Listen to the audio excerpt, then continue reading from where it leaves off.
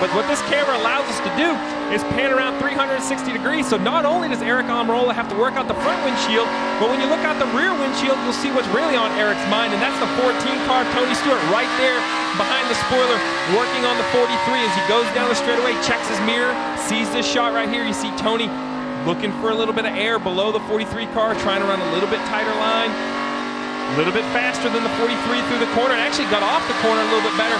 So this is one of my favorite shots. It really shows you what the driver's able to see out of that rearview mirror.